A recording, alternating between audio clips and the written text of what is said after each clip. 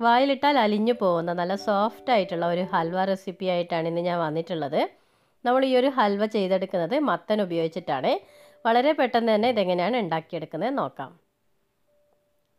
അപ്പോൾ ഇതിന് വേണ്ടിയിട്ട് ഞാനിവിടെ അര കിലോഗ്രാം മത്തനെ നന്നായിട്ട് കഴുകി ഉള്ളിലെ കുരുവും അതേപോലെ തന്നെ തൊലിയൊക്കെ കളഞ്ഞിട്ട് ഇതേപോലെ നുറുക്കിയെടുത്തിട്ടുണ്ട്. എനിക്കിവിടെ ഇതേപോലത്തെ ബട്ടർനട്ട് സ്കോഷ് എന്ന് പറഞ്ഞിട്ടുള്ളതാണ് കിട്ടുന്നത്. നമ്മുടെ നാടൻ മത്തന്റെ അതേ ടേസ്റ്റ് തന്നെയാണ്. അപ്പോൾ ഞാനിത് വേവിച്ചെടുക്കുന്നത് ആവിത്തട്ടിൽ വെച്ചിട്ടാണ്. അപ്പോൾ ആവിത്തട്ടിൽ വെച്ചിട്ട് ഒരു അഞ്ച് പത്ത് മിനിറ്റ് നന്നായിട്ടൊന്ന് ആവി കയറ്റി കഴിഞ്ഞാൽ നന്നായിട്ട് ഇത് വെന്ത് കിട്ടും. നിങ്ങളിത് പാത്രത്തിൽ വെച്ചിട്ടാണ് വേവിച്ചെടുക്കുന്നതെങ്കിൽ ഒരുപാട് വെള്ളം ചേർത്തിട്ട് വേവിച്ചെടുക്കരുത് കേട്ടോ അതേപോലെ തന്നെ വെന്ത് ഉടഞ്ഞു പോകേണ്ട ആവശ്യമില്ല. ഇതേപോലെ ഒന്ന് വെന്ത് കിട്ടിയാൽ മതിയാവും. അതിനുശേഷം നമ്മളിത് മിക്സിയിലിട്ടിട്ട് അടിച്ചെടുക്കുന്നതാണ്. ഇത് ചൂടാറാൻ വേണ്ടിയിട്ട് ഞാൻ ഒരു പാത്രത്തിലേക്ക് മാറ്റിയിട്ടുണ്ട്. ചൂടാറിയ ശേഷം നമുക്കിത് മിക്സിയിലിട്ടിട്ട് അരച്ചെടുക്കാം. അപ്പോൾ ഇവിടെ അഞ്ഞൂറ് ഗ്രാം ഉള്ളത് കൊണ്ട് തന്നെ എനിക്കിത് ഒരു ബാച്ചായിട്ട് അരച്ചെടുക്കാൻ കഴിഞ്ഞിട്ടില്ല. അപ്പോൾ ഞാനിത് രണ്ട് ബാച്ചായിട്ടാണ് അരച്ചെടുക്കുന്നത്. അരയ്ക്കുന്ന സമയത്ത് ഞാനൊരു അര കപ്പ് പാൽ ചേർത്ത് കൊടുക്കുന്നുണ്ട്. അപ്പോൾ ഞാനിവിടെ പശുവിൻ പാലാണ് കേട്ടോ ചേർത്തത്. നിങ്ങൾക്ക് വേണമെങ്കിൽ തേങ്ങാപ്പാലും ചേർത്ത് കൊടുക്കാം. മൊത്തം അരക്കപ്പാണ് ചേർത്തിട്ടുള്ളത്. അപ്പോൾ രണ്ട് ബാച്ചായിട്ട് ഇതിവിടെ അരച്ചെടുത്തിട്ടുണ്ട്. നന്നായിട്ട് നമ്മൾ ഇതേപോലെ നല്ല ഫൈനായിട്ട് അരച്ചെടുക്കാൻ വേണ്ടി ശ്രദ്ധിക്കുക ഇനി നമുക്ക് ഹൽവ ഉണ്ടാക്കി തുടങ്ങാം. അതിനായിട്ട് അടി കട്ടിയുള്ള ഒരു പാത്രം എടുക്കുക. ആ ഒരു പാത്രം നന്നായിട്ട് ചൂടായി വരുന്ന സമയത്ത് അതിലേക്ക് ഒരു മൂന്ന് ടീസ്പൂണിന്റെ അടുത്ത് നെയ്യ് ചേർത്ത് കൊടുക്കുക കേട്ടോ. ഞാനിവിടെ നല്ല തിക്കായിട്ടുള്ള നെയ്യാണ് ചേർത്തിട്ടുള്ളത്. അപ്പോൾ അതൊന്ന് മെൽറ്റായി വരുന്ന സമയത്ത് മൂന്ന് ടീസ്പൂൺ ഉണ്ടാവും. അപ്പോൾ നെയ്യ് അത്യാവശ്യം ചേർത്താലാണ് നമ്മുടെ ഹൽവ നന്നായിട്ട് കിട്ടുക. നെയ്യ് നന്നായിട്ട് ചൂടായി വരുന്ന സമയത്ത് ഞാൻ അതിലേക്ക് കുറച്ച് അണ്ടിപ്പരിപ്പ് ചേർത്ത് കൊടുക്കുന്നുണ്ട്. പിന്നെ നെയ്യിന്റെ ടേസ്റ്റ് ഇഷ്ടമില്ല എന്നുണ്ടെങ്കിൽ നിങ്ങൾക്ക് ഓയിൽ ചേർത്ത് കൊടുക്കാം കേട്ടോ. ഈ ഒരു സമയത്ത് അണ്ടിപ്പരിപ്പ് നന്നായിട്ട് മൂത്ത് വന്നപ്പോൾ ഞാൻ കുറച്ച് കിസ്മിസും കൂടെ ഇട്ട് കൊടുത്തിട്ടുണ്ട്. എല്ലാം കൂടെ നന്നായിട്ടൊന്ന് വറുത്തിട്ട് നമുക്കിത് എണ്ണയിൽ നിന്നും കോരി മാറ്റി വെക്കാം.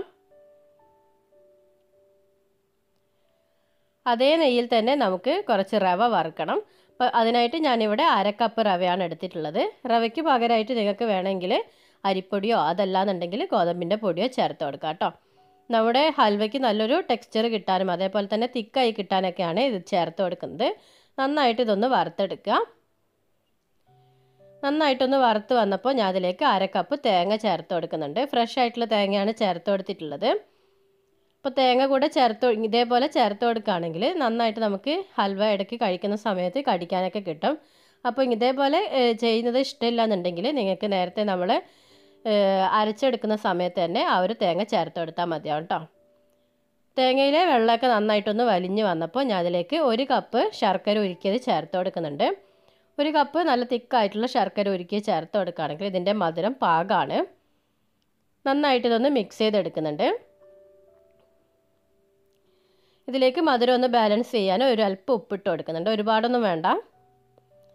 നമ്മൾ നേരത്തെ അരച്ച് വെച്ചിരുന്ന ആ ഒരു മത്തന്റെ കൂട്ട് ഇതിലേക്ക് ചേർത്ത് കൊടുക്കാം.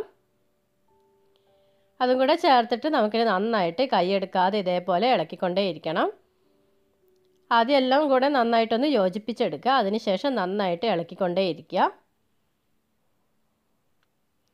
ഇതിന്റെ മെയിൻ പണി എന്ന് പറയുന്നത് ഇതേപോലെ ഇളക്കിയെടുക്കലാണ് കേട്ടോ ഇടയ്ക്ക് ഇതേപോലെ കുറച്ച് നെയ്യ് ചേർത്ത് കൊടുക്കുക.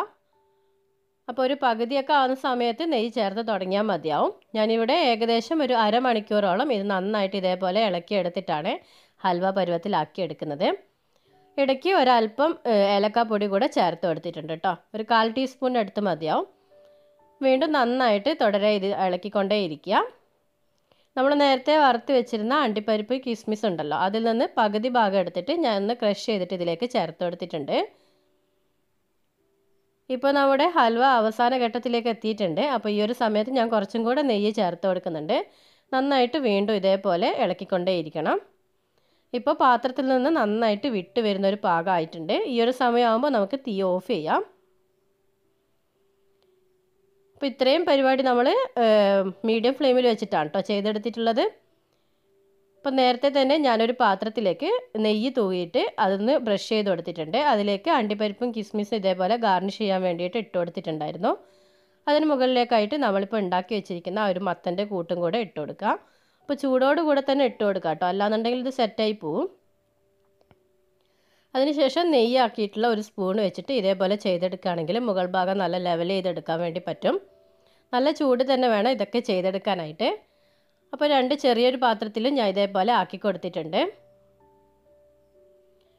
നന്നായിട്ട് തന്നെ എല്ലാം ഒന്ന് നന്നായിട്ട് അമർത്തിയിട്ട് ഇതേപോലെ ഒന്ന് ലെവൽ ചെയ്ത് കൊടുക്കുക. നന്നായിട്ട് തണുത്ത ശേഷം നമുക്കിത് ഡിമോൾഡ് ചെയ്തെടുക്കാവുന്നതാണ്. ഇപ്പോൾ നമ്മുടെ ടേസ്റ്റി ആയിട്ടുള്ള നല്ല സോഫ്റ്റ് ആയിട്ടുള്ള മത്തന്റെ ഹൽവ ഇവിടെ റെഡി ആയിട്ടുണ്ട്. അപ്പോൾ നിങ്ങൾ ഇതേവരെ ട്രൈ ചെയ്ത് നോക്കിയിട്ടില്ല എന്നുണ്ടെങ്കിൽ തീർച്ചയായിട്ടും ഒന്ന് ഉണ്ടാക്കി നോക്കുക. എന്തായാലും നിങ്ങൾക്ക് ഇഷ്ടപ്പെടും. ഉണ്ടാക്കി നോക്കുന്ന സമയത്ത് നിങ്ങളുടെ അഭിപ്രായങ്ങളും നിർദ്ദേശങ്ങളും കൂടെ അറിയിക്കാൻ മറക്കരുതേ. പിന്നെ ഈ ഒരു റെസിപ്പി നിങ്ങൾക്ക് ഇഷ്ടമായിട്ടുണ്ടെന്നുണ്ടെങ്കിൽ നിങ്ങളുടെ ഫ്രണ്ട്സിനും റിലേറ്റീവ്സിനും എല്ലാവർക്കും ഒന്ന് ഷെയർ ചെയ്ത് കൊടുക്കുക. നമ്മുടെ ചാനൽ ഇതേവരെയും സബ്സ്ക്രൈബ് ചെയ്യാതെയാണ് കാണുന്നതെങ്കിൽ ഒന്ന് സബ്സ്ക്രൈബ് ചെയ്യുക. ഇൻഷാല്ല പുതിയ നല്ലൊരു റെസിപ്പി ആയിട്ട് നമുക്ക് വീണ്ടും കാണാം. Thank you.